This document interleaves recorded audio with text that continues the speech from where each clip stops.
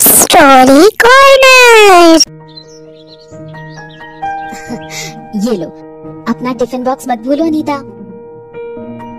रुको अनीता उस दिन मैंने देखा कि कुछ लड़के लापरवाही से गाड़ी चला रहे थे जिससे उनका एक्सीडेंट हो गया। इसलिए सावधान रहना और अपना ख्याल रखना गुड़िया। हाँ मैं आपकी चिंता समझती हूँ पापा। मैं ध्यान रखूँगी। बाय बाय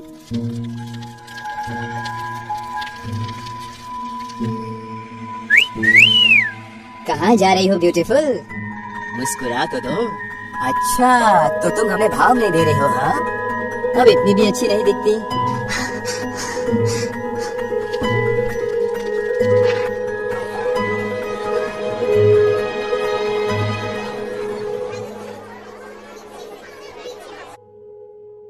तुम ठीक तो हो, अनीता? क्या बात है? स्कूल के रास्ते में कुछ लड़कों ने मुझको सीटी मारी और भद्दे कमेंट्स किए।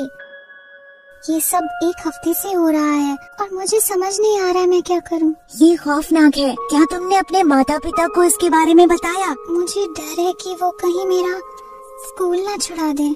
अनीता मुझे लगता है तुमको हमारी क्लास टीचर से बात करनी चाहिए। मुझे यकीन है वो ज़रूर तुम्हारी मदद करेंगी। नीरव और मैं तुम्हारे साथ चलेंगे। हेलो स्टूडेंट्स बताओ मैं तुम्हारी क्या मदद कर सकती हूँ? मैम हम सब यहाँ अपने दोस्त की मदद करने आए हैं। बोलो अनीता हम सब तुम्हारे साथ हैं। मैम मैम एक एक एक घबराओ मत बच्चे मैं यहाँ अकेली हूँ इसलिए बेझिझक बताओ डरो मत।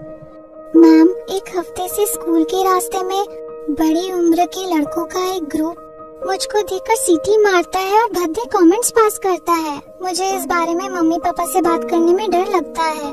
मैम मैं भी आपको कुछ बताना चाहता हूँ। हाँ नीरव। बताओ ना। कुछ दिन पहले हमारी स्कूल बस के ड्राइवर ने मुझे ज़बरदस्ती अपने पास बैठाया। उसने मुझे छुआ जो कि मुझे ठीक नहीं लगा। मैंने हटने की कोशिश की लेकिन उसने अपनी पकड़ ढीली नहीं की। वो बोला कि अगर मैंने किसी को ये बात बताई तो वो मुझे सजा देगा। मैं बहुत डर गया था। मुझे दुख है कि ऐसा हो रहा है। ये मामला बहुत ही गंभीर है। कल ही एक छात्र ने शिकायत करी कि खेल के पीरियड के दौरान एक बड़ी कक्षा के लड़के ने उसे मैदान में लात और घूसों से मारा। बच्चों, हिंसा शारीरिक, लैंगिक अथवा मानसिक हो सकती है और स्कूल या उसके आसपास घटित हो सकती है। हिंसा स्कूल में ऐसे स्थानों में हो सकती है जहाँ किसी का ध्यान न जाता हो, जैसे कि खेल के मैदान अलग थलग कमरे और खाली गलियारे में। जागरूक रहना और मदद मांगना बहुत ज़रूरी है। तुम दोनों बहुत बहादुर हो और मुझे खुशी है कि तुमने मुझे ये बात बताई। हमें प्रधानाचार्य से मदद मांगनी चाहिए। आ जाइए। Good morning sir good morning ma'am sir मुझे आपसे बहुत ज़रूरी बात करनी है। थोड़ी देर पहले हाँ? क्या? आप तो मानते ही हैं कि हिंसा एक बच्चे के विकास को नुकसान पहुंचाती है। इसके कारण चिड़चिड़ापन खराब शैक्षिक प्रदर्शन स्कूल न आना और समाज से अलग थलग रहने की प्रवृत्ति पनप सकती है। हमें कुछ करना चाहिए सर। दुर्भाग्यपूर्ण है। मैं आपका शुक्रगुजार हूँ कि आपने ये बात मुझे बताई। हमारे स्कूल परिसर के अंदर या बाहर किसी भी दशा में हिंसा स्वीकार नहीं की जा सकती। मैं इस पर कड़ी कार्यवाही करूँगा। हम छात्रों अध्यापकों, अभिभावक, शिक्षा समितियों और क्षेत्रीय नेताओं के सहयोग से सुरक्षित शैक्षणिक माहौल के लिए एक अभियान चला सकते हैं। ये इस बात को सुनिश्चित करेगा कि जैसा अनिता और नीरव के साथ हुआ, वैसा फिर दोबारा न हो। ये बहुत अच्छा सुझाव है।